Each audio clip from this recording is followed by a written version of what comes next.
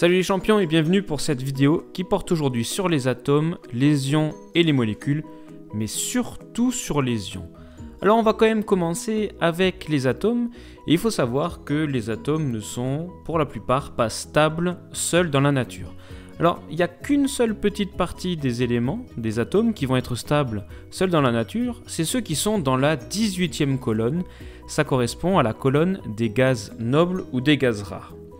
Alors pour les autres, il va y avoir deux possibilités de stabilisation. Première possibilité, c'est une possibilité que vous avez déjà rencontrée au collège en classe de quatrième, eh bien c'est de s'associer avec d'autres atomes pour former des molécules. Exemple de molécules, l'éthanol, dans lequel on a deux atomes de carbone, cinq atomes d'hydrogène et un atome d'oxygène, la molécule de méthane ou encore la molécule de dioxyde de soufre. La deuxième possibilité, c'est la nouvelle possibilité que l'on voit ensemble aujourd'hui, eh c'est de former des ions en perdant ou en gagnant un ou plusieurs électrons. Exemple d'ion, l'ion magnésium Mg2+, l'ion sodium Na+, l'ion sulfure S2-, ou encore l'ion chlorure Cl-. Il va y avoir deux catégories pour les ions, les ions positifs que l'on appelle les cations et les ions négatifs que l'on appelle les anions. Alors la question qui vient, bah, c'est quoi un ion? On va commencer avec un atome de sodium. Alors l'atome de sodium, on a au centre, on l'a déjà vu, un noyau. Dans ce noyau, pour le sodium, on a 11 protons et on a aussi 12 neutrons. Autour de ce noyau, il y a un cortège électronique, des électrons. En l'occurrence, pour l'atome de sodium, on a 11 électrons. Ils sont ici représentés par des billes vertes. Si on fait le total, on a 11 charges plus portées par les 11 protons, 11 charges moins portées par les 11 électrons, ce qui nous donne au final ben, pas de charge électrique, c'est-à-dire une charge électrique nulle.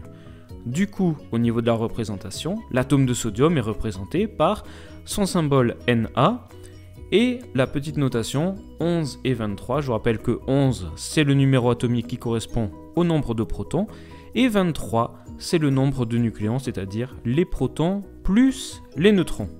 Bon, alors maintenant on va se demander, c'est quoi vraiment un ion? Eh bien il faut savoir que cet atome de sodium, il peut perdre un électron pour devenir stable. On voit donc qu'il y a une bille verte qui est partie.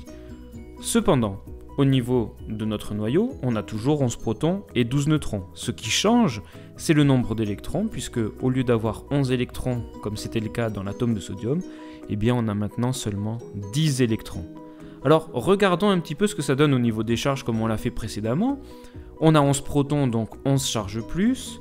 On a maintenant seulement 10 charges moins, ce qui nous donne au total eh une charge plus. Ce qui veut dire que la représentation de notre ion sodium va être différente, pas forcément au niveau des lettres, puisqu'on a toujours du sodium, donc on a Na. Par contre, on va noter que la charge est positive, et pour cela, on va noter un plus en exposant. On aura toujours la notation 11-23 pour montrer que l'on a bien 11 protons et 23 nucléons puisque ça n'a pas changé.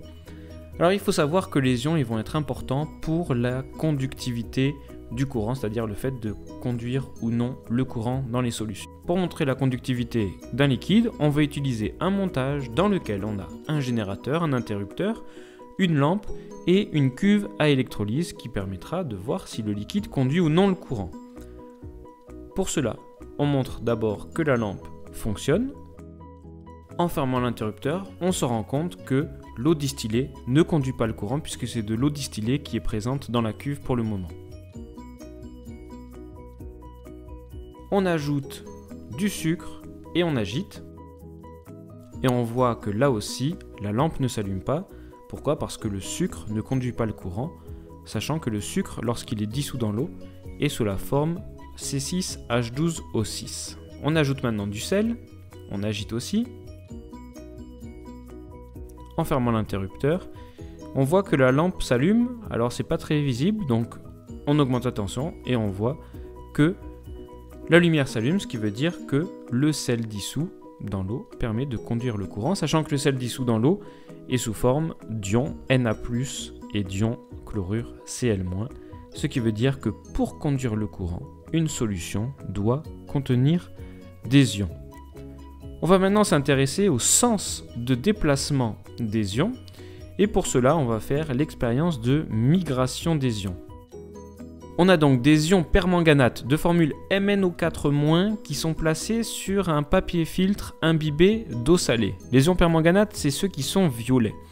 Et on va regarder ce qui se passe quand on ferme l'interrupteur au niveau de la tâche des ions permanganates. Si vous regardez, c'est ici en accéléré puisque l'expérience se fait sur plusieurs dizaines de minutes. On observe que les ions permanganates vont vers la borne plus du générateur puisque la petite barre noire est reliée au fil rouge de la borne plus. Et cela veut dire quoi? Cela veut dire que les ions négatifs sont attirés par la borne positive du générateur. J'espère que c'est maintenant clair pour vous au niveau des ions. Je vous rappelle que vous pouvez vous abonner à la chaîne, mettre un pouce bleu et poster des commentaires. A bientôt